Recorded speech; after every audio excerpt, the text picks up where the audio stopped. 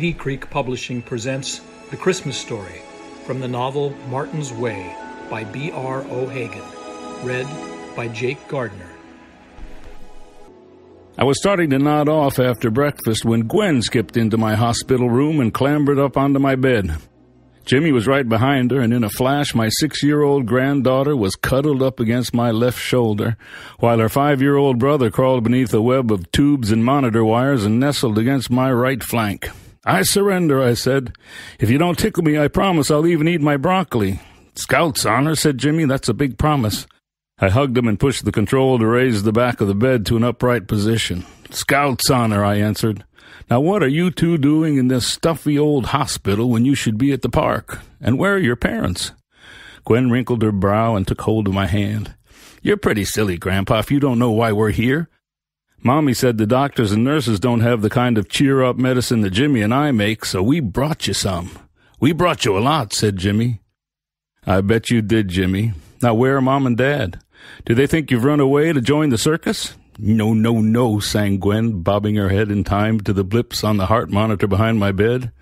They're having lunch in the cafeteria. Dad said he thought you might like some time just with us. How about another twenty years, I thought. Well, good then. What shall we do? Chase some pirates or maybe catch a couple of wild ponies and break out of this joint? We can't do that, Granddad, said Gwen. Mom says you have to stay right here in this bed until it's time for you to go to heaven. Gwen! Jimmy shot his sister a withering glance. Gwen scooted closer. Well, she did, Granddad. That's exactly what she said. And she was right, Gwen. But I think Jimmy would rather not talk about that. It can sound kind of scary. Jimmy tugged at the sleeve of his baseball shirt and turned his head away. So, do you really have to go away forever? he asked. He looked at me expectantly, and I knew what he wanted to hear, what they both wanted to hear. That Granddad was going to get better and be able to take them to the park. That I'd be able to team up with them once again in the time honored coalition of grandparents and grandchildren united against their common foe, the parents. I stretched my arms out as far as the IV needles in my forearms permitted, and I pulled my grandchildren close. In the corridor outside my room, the hustle and bustle of a busy hospital went on ceaselessly. Inside room 512, though, the world had stopped spinning, if only for a moment. Well, forever's an awfully long time, Jimmy. No one lives that long, but no one is alone that long either, especially not in heaven. Heaven is where you get to be surrounded by the people you love, where you never have to be apart from them again. Just then, Nurse Marsden bustled into the room. She was all business. She sized up the situation, planted herself in the middle of the room, and put her hands on her hips. She narrowed her eyes, glaring at each of the children and then me, before smiling and asking, So, what will it be for your roommates, hot cocoa or fruit smoothies? I nudged my fellow conspirators, and they hopped off the bed to follow the nurse down the hall. When they returned a few minutes later with their drinks, the nurse pulled two chairs alongside my bed. Gwen and Jimmy plopped down and promptly put their feet up on the bed rail. What should we talk about? I asked. How about school? Not today, said Gwen. How about a story? I'd love to hear a story, I said. What kind would you like to tell me? No, not her, said Jimmy. You tell a story. Right, Gwen? Mom said maybe you would like to tell us a story like the kinds you always tell at Christmas, the ones about your family back in the olden days.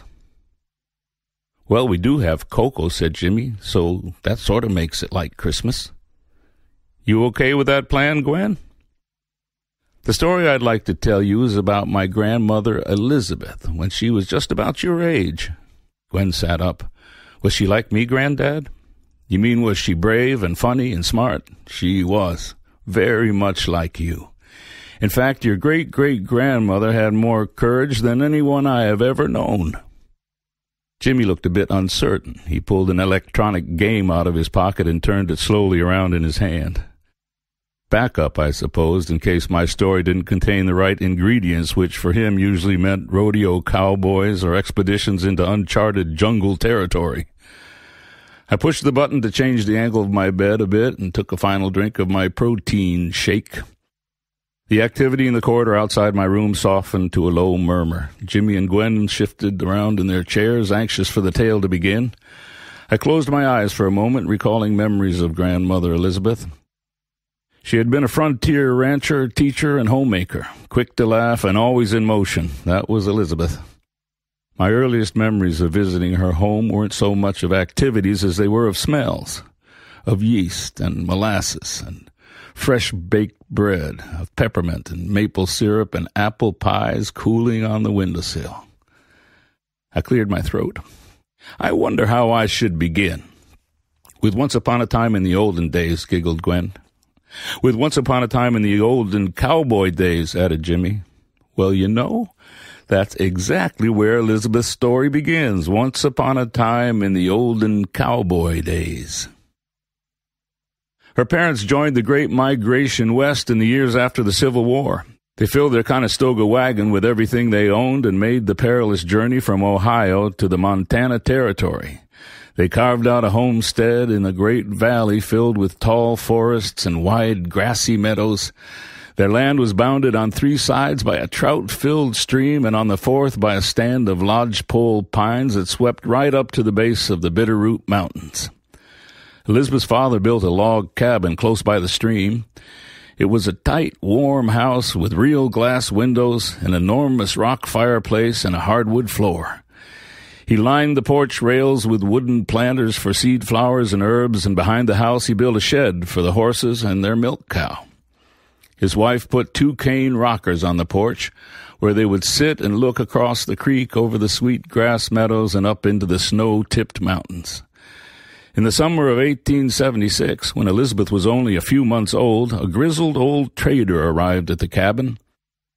His wagon was the horse drawn supermarket of the frontier with an assortment of pots and pans, bolts of cloth, sacks of sugar and coffee and beans, small bags of striped candy, and even a few books. Elizabeth's parents welcomed the old man into their home for the night. Next morning, in thanks for a homemade supper and a soft bed, he dug a tiny sapling out of his wagon and gave it to Elizabeth's mother. The willowy tree was not from these parts, he said. In fact, it had come all the way from Africa and was said to blossom just once in its lifetime, producing great bunches of scented flowers from which the most expensive perfumes in the world were distilled.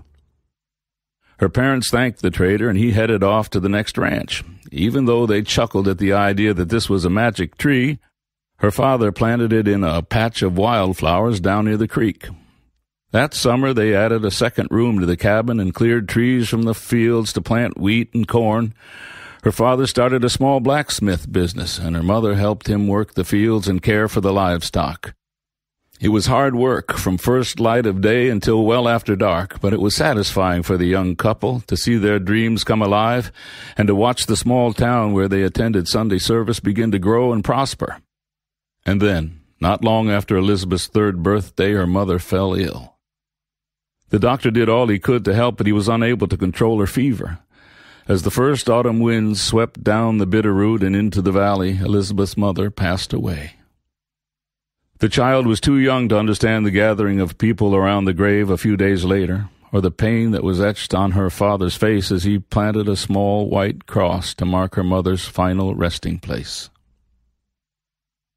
Gwen shifted in her chair. Granddad, I don't think I like this story. It's pretty sad.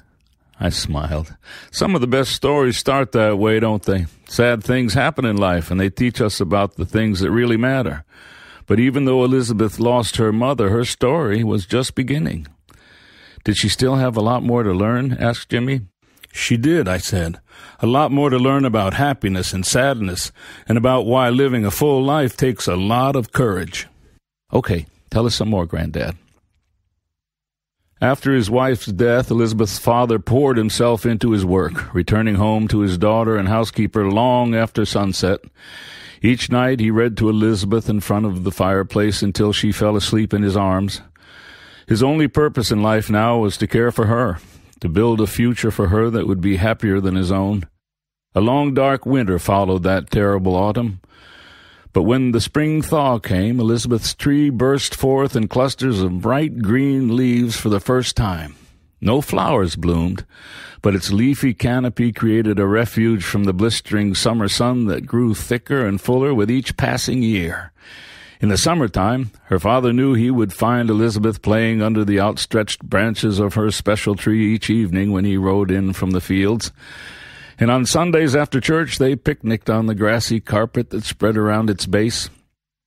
One lazy afternoon, as they watched clouds drift high overhead, Elizabeth asked her father how far away heaven was, and if it was so far above them that humans could not see it. He pointed across the horizon to a V shaped notch that had been carved by weather into the granite between two mountain peaks. Do you see the pool of light nestled in that rocky cleft just where the snow line begins? he asked. Elizabeth nodded.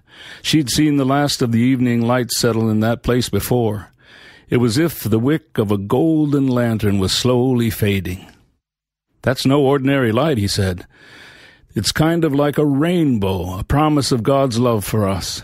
When you see a promise like that, you know that heaven is close by, so close that you can see it. It doesn't matter where you are or what's happening in your life.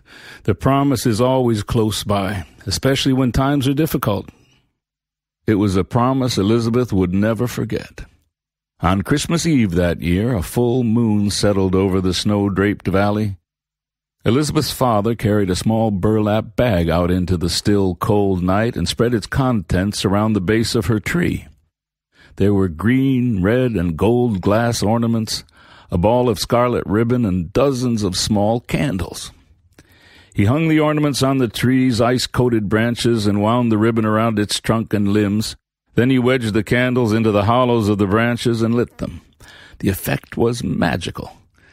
Candlelight bounced off the ornaments, spraying ribbons of color across the snow, and the tree's reflection sparkled like a basket of precious jewels on the surface of the creek. He returned to the cabin and pulled a sleeping Elizabeth from her bed. Wrapping her in a warm comforter, he carried her down to the creek bank and laid her gently on a thick, warm buffalo robe on the snow directly beneath her tree. Then he stepped back so that when she awoke, the tree would be the only thing she saw. It only took a moment. Elizabeth stirred in the chill night air, her eyes opened, and she looked around. She was uncertain at first, and for an instant she looked as though she might be afraid. Then she saw the illuminated tree her father standing close by, and her eyes widened in astonishment. Oh, but I must be dreaming, she thought. The icy branches glittered with the reflection of candles bouncing off the glass ornaments.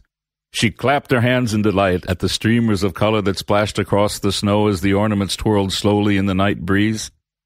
Elizabeth sat up and watched the light from her tree spill down the creek bank, pour into the water, and float off in the direction of the towering mountains. Could her mother see the tree and its glittering lights from heaven, she wondered? She looked over at her father and saw that he was smiling for the first time since they'd lost her mother. He was looking across the valley high up into the mountain pass where light from the full moon was beginning to pool.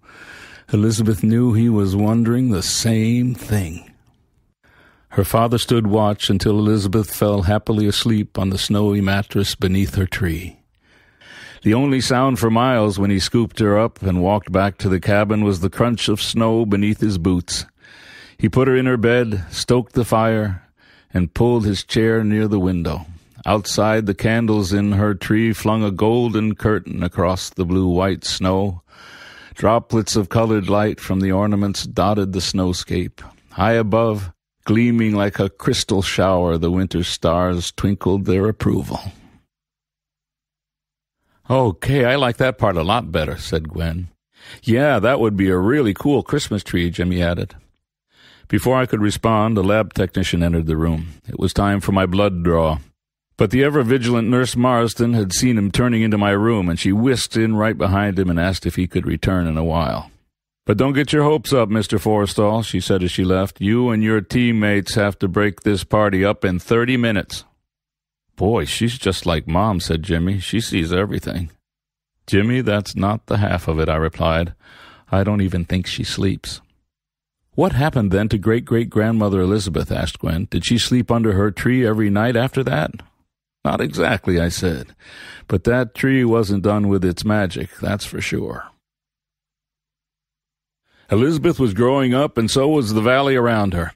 Settlers from the east poured in during the 1880s in search of cheap land and opportunity, and their small town became the county seat. Elizabeth went to school and church and made many new friends. When she turned twelve, she told her father that she was ready to take over the housekeeping chores. Her father continued to work tirelessly at building up the ranch. He purchased an adjoining homestead, raised a herd of cattle, and grew his blacksmith business into a prosperous enterprise. Elizabeth Tree was growing as quickly as she was.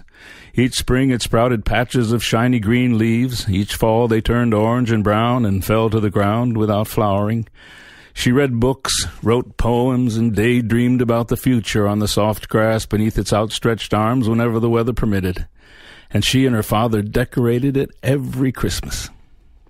On Christmas Eve, they would bundle up with warm coats and hot chocolate and sit beneath its ice coated branches to watch the light dance across the snow and shimmer on the surface of the creek. Elizabeth could have lived this way forever, but, as she would say when she was telling the story to my brother and I many years later, the fates don't often take the dreams of humans into account when balancing their books. And so it was that when Elizabeth was fourteen, her father was badly injured in a rock slide on the slopes of Willow Mountain where he'd gone in search of a stray calf. A neighbor found him bloodied and nearly frozen on the rocky trail just above the snow line. He had a broken shoulder, broken ribs, and a busted leg, but he had managed to crawl through the thick brush and snow for several miles in a heroic effort to get back to his daughter. The neighbor laid him over the back of his pack horse and brought him to the cabin. The doctor set her father's broken bones as best he could and then helped Elizabeth wrap him in heavy blankets on a cot by the fire. Your father has internal bleeding, the doctor explained, and probably other injuries that's difficult to determine. Only time would tell if he would survive. The doctor and the pastor looked in on them for the first few days, but when the weather progressed from a light snowfall to an Arctic blizzard, the road from town became impassable. Caring for her father was Elizabeth's job now. There would be no one to help her until the storm cleared. She stayed by his side day and night for three weeks, leaving only to feed the animals or bring in firewood. She read to him from the same books that he had read to her when she was a child. When he was chilled, she fed him with warm soup, and when he was racked with fever, she kept a cool cloth on his forehead. Elizabeth barely slept. Each time her father stirred or coughed in pain, she wakened and did all she could to soothe him. She had no medicine, no dressings or bandages, and no training in how to care for someone so badly injured. There was no one to help her, to comfort her, no one for her to even visit with. When he slept, she sat by the fire, remembering all of the special times they had shared and all of the plans they had made for the future. She recalled the story of how her tree had come to be planted on the bank of the creek and about the legend the old trader told her parents about the tree's magical origins on the far side of the world. Each autumn she and her father had watched its withered leaves fall to the ground. Never once did the tree bring forth a flower, and the very idea that it could produce a crop of rare perfumed blossoms made them laugh.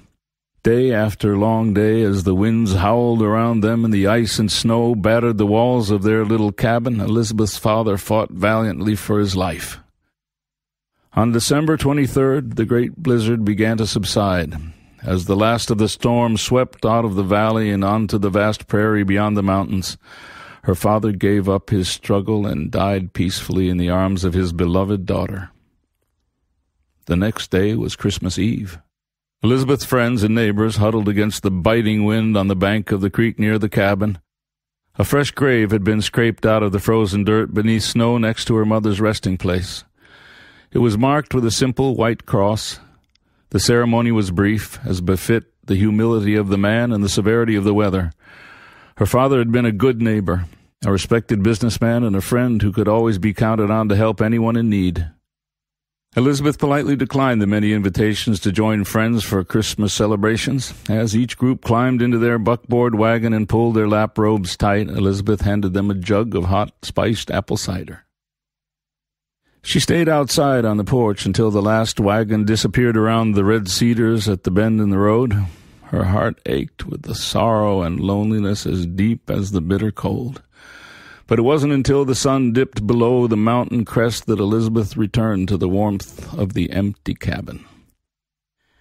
That night, the valley rested peacefully under a blanket of powdery snow. A full yellow moon sat high above the granite peaks, and the smoke from Elizabeth's chimney curled lazily into the winter sky. She sat in her father's chair by the kitchen window, gazing past her tree, across the frozen meadow, and up into the towering purple mountains. She was searching for the exact places where their craggy peaks made contact with heaven. As the moon settled above the cabin, she pulled a heavy quilt around her shoulders and went outside. A carpet of stars swept across the sky, and the air was perfectly still, as if the earth was holding its breath. Elizabeth turned away from the warm cabin and its memories of happier times and dropped to her knees on the soft snow beneath her tree. She began to cry, and her tears melted tiny holes in the snow. Her pain and loneliness at last gave way to exhaustion, and she fell asleep beneath the tree. Dawn spilled softly into the valley the next morning, pouring over the mountain peaks and across the valley floor. The sun woke Elizabeth with a gentle caress. Her eyes opened to a bright and glorious Christmas landscape. A clump of snow fell to the ground from a tree across the creek. The Bitterroot Mountains glowed rose and violet, and a wisp of smoke drifted from the cabin chimney. Elizabeth stretched and pulled the quilt tight around her shoulders. The warm sun felt good, and for a moment she forgot the hurt of the last few days. Then a ray of light glanced off the white cross that marked her father's grave. Pain flooded her heart, and she began to cry. She felt so alone. It would be unbearable, so difficult to go on. She wiped at her tears and turned her head in the direction of the cabin. The milk cow was waiting for her, the hens needed to be turned out and given their scratch corn, and the horses would need a ration of oats and molasses. Life went on, and so did the chores. Elizabeth leaned her head back to shake a dusting of snow from the quilt. As she did, something caught her eye. Something remarkable. But it couldn't be, she thought. Not here, not now, and certainly not after the worst blizzard in a quarter century. She felt the morning chill on her face, her feet were aching with cold, and she could smell the smoke from the chimney. This wasn't a dream. Elizabeth threw off her quilt and stood up. A feeling of joy washed over her. Her tears stopped and her heart swelled with happiness. She stepped back and looked up through the branches of the ice coated tree. What she saw was nothing less than a miracle. In the dead of winter, on a sun drenched bank of a frozen Montana creek, a promise had been fulfilled. The tree that her father planted fourteen years ago was no longer just an icy skeleton. Elizabeth was astonished to see one limb was now covered in a mass of gossamer white flowers stretching from the trunk of the tree to the tip of the branch. The rest of the tree was as bare and icy as the day before, wrapped tightly in its coat of winter frost. Just one branch, arching high above all the others, had burst into bloom. Each one of the thousands of tiny flowers on the remarkable limb had a splash of deep red color in its center. A fragrance of rose and lavender and jasmine filled the air. It was the most wonderful perfume Elizabeth could imagine. The old trader's promise had come true. The tree he gave to Elizabeth's parents had blossomed just as he said it would, and on Christmas Day. Elizabeth took a few steps back so that she could take in the entire tree. It was then that she noticed something else about the tree's lone flower covered branch. It was positioned exactly so that it arched protectively over the two wooden crosses that marked her parents' final resting place. Elizabeth returned to the cabin. She heated a mug of cider, went out onto the porch, and settled into her mother's rocker. Across the creek, beyond the snowdrifts and above the cedar forests, the great mountains maintained their silent vigil. Elizabeth was certain of one thing. When the mountain snows melted next spring, a new pool of light would be visible high up in the cleft of the mountain pass, right next to the one her father pointed out that summer evening when she asked him if heaven was close by. Her tree stood loving guard over the two snowy graves. As Elizabeth watched, two white petals fell from the branch and were carried in the arms of a gentle breeze toward the waiting mountains. Gwen and Jimmy were leaning forward in their chairs as I finished the story. I set my water glass down. Grandmother Elizabeth told us that story every Christmas, I said, and each time she told it, it was like the first time I ever heard it. She was so brave, said Gwen. She took care of her daddy all by herself. And she had to take care of the animals and chop wood with the big axe, too, said Jimmy. I was pleased to see that Jimmy's electronic game hadn't been switched on. Yes, she did, and in fact, she worked that ranch by herself for a whole year until her aunt and uncle came west the next year and settled in with her. Did her tree ever grow flowers on it again at Christmas time? Gwen asked. Not at Christmas time or any other time. Her miracle came when she needed it most. That's the way that most real miracles happen. A crowd appeared at the door to my room. Eric, Rachel, Peter, Marjorie, and Connie. They squeezed inside. Come one, come all. There's room for you here. We'll have ourselves a proper shindig. How are the kids? Eric asked. Oh, they were a treat, I said.